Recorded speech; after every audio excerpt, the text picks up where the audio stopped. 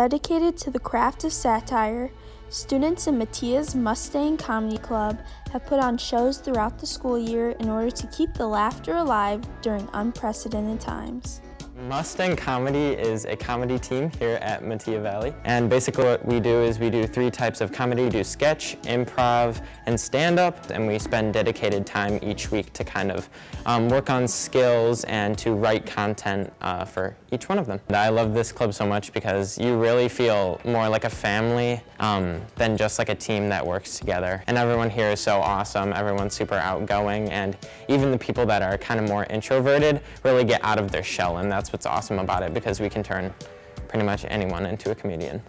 With this being said, maintaining their tight knit community through the pandemic took much deviation from typical procedures and proved to be a unique experience in comparison to previous years.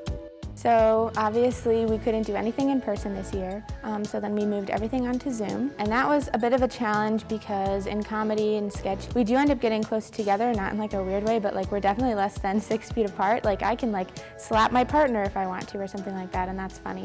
But you can't do that over Zoom. And so we ended up learning how to adjust. We still had a really amazing year, and we all got to get a good laugh in, even though we were online. Mustang Comedy unified May 7th to host its last show in person.